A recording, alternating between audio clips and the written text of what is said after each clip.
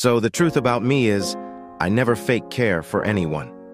When I choose to care, it's real, it's genuine, and it's because I want to, not because I expect something in return. I don't need anything from you to validate my actions or to make me feel like what I'm doing is worthwhile.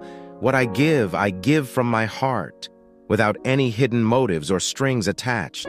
I believe in sincerity, in showing up for people because it's the right thing to do, not because I'm looking for something in exchange. That's just who I am. If I invest my time, my energy, or my love, it's because you matter to me, plain and simple. I don't play games or pretend to care just to get something back. My feelings are honest, and my actions come from a place of true intention.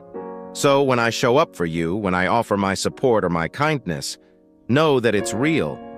I don't need anything in return. I just want to be there because I care. That's the kind of person I am, and that's how I choose to live my life.